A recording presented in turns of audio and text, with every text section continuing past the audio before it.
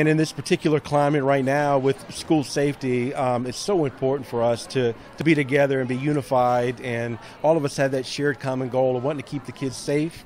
And we want our um, we want our schools to be um, a learning environment, conducive to learning and, and enjoy, enjoying themselves. And tonight is just a great way to come together um, outside of the standard school hours and let them see us playing and having a good time. Our DARE officers, they do a phenomenal job. They're covering 17 elementary schools.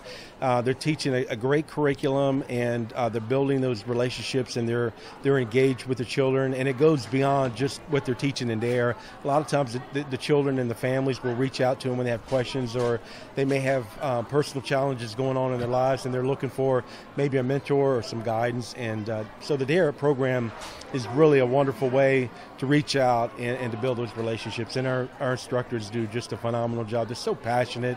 They care so deeply about the children in the program. They're very, they're just so invested in we it. want them to realize that we are human, that we're just like them, that we're moms, you know, we, we have husbands, we have wives, um, and that we live our lives just like they do. And we want them to know that, hey, we strive every day to make good choices, and that's what we want them to do as well.